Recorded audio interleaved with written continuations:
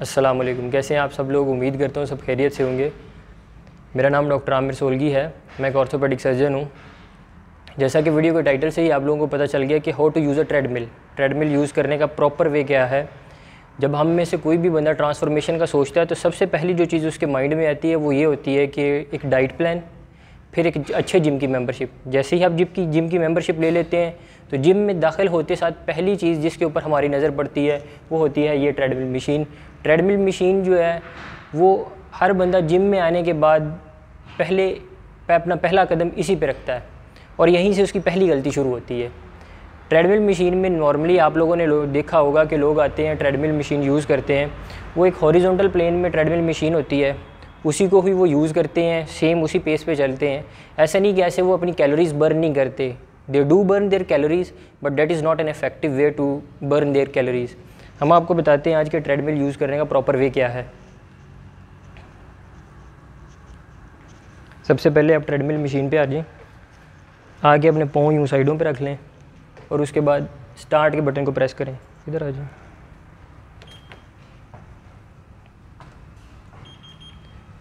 जब आप स्टार्ट के बटन को प्रेस करेंगे तो यहाँ आपकी काउंटिंग होगी। आप देखेंगे कि आपका बेल्ट जो है वो चलना शुरू हो जाएगा। इसको 10 सेकंड तक चलने दें। 10 सेकंड के बाद आप अपने पाँव आराम से प्लेस करें और वॉक करना शुरू करें। लेकिन इसको आप टू पे पहले चलाएँ। कुछ अर्सा आप टू पे वॉक करें। उसके बाद इसको स्टेप वाइज आप ऊपर लेके जाएँ। जैसे फोर पे। इसमें आप देखेंगे आपकी ट्रेडमिल मशीन की स्पीड थोड़ी ज़्यादा होती जाएगी। Then you can do at six ये एक हॉरिजॉन्टल प्लेन है। अब जो मेन चीज़ है वो ये है, ये आप यहाँ देख रहे होंगे incline it increases your effort जब आप हॉरिजॉन्टल स्पीड पे जा रहे हैं इनक्लाइन पे आप को इसको इनक्लाइन करेंगे तो यहाँ पे ट्रेडमिल ज़्यादा इफ़ेक्टिवली आपकी कैलोरीज बर्न करेगा, क्योंकि यहाँ पे आपकी एफ़र्ट का लेवल वो ज़्यादा हो जाएगा। अगर मेरे कैमरा मैन आपको दिखाएँ तो आप देखेंगे कि नीचे से जो ट्रेडमिल है, वो भी इंक्लाइन में जा चुकी है। इधर इधर आप देखेंगे कि ये इस तरह ऊपर को चली गई है। और अगर आप मेरे पाँव की तरफ़ देखेंगे तो यहाँ पे एफ़र्ट का लेवल ज़्यादा हो गया। ये ऐसे ही है जैसे आप किसी टीले पे चढ़ रहे हैं, ठीक है? इसके बाद आप इसको थोड़ा सा अगर बढ़ा देंगे तो आप ये देखेंगे कि एफ़र्ट का लेवल थोड़ा ज़्यादा हो गया है। यहाँ से हम अपनी मर्ज़ी से कंट्रोल कर सकते हैं कि हम कितना इंक्लाइन रखना चाहते हैं। दूसरी एक चीज़ बड़ी इम्पोर्टेंट है। एक तो ये तरीका है कि आप इस तरह, एक तो ये तरीका है कि आप इस तरह एक अपनी वॉक करते रहें, इस पेस पे चलते रहें, उससे आपकी कैलोरीज बर्न होंगी इंक्लाइन करते हुए।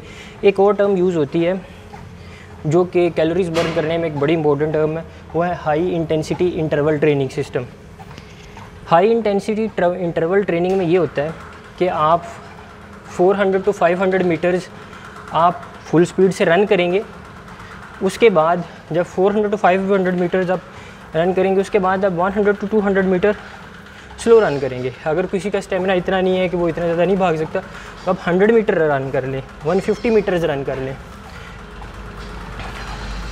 उसके बाद आपने फिर वापस स्लो स्पीड पे आ जाना है। जैसे आप टू पे आ जाएँ थ्री पे आ जाएँ फोर पे आ जाएँ। तो उसके बाद इसको बंद करना एक बड़ा इंपॉर्टेंट सिस्टम है। इसमें आपने जब इसको बंद करना तो आप इंक्लाइन जो है उसको ज़ीरो पे करें, फिर इसको स्टॉप पे करें।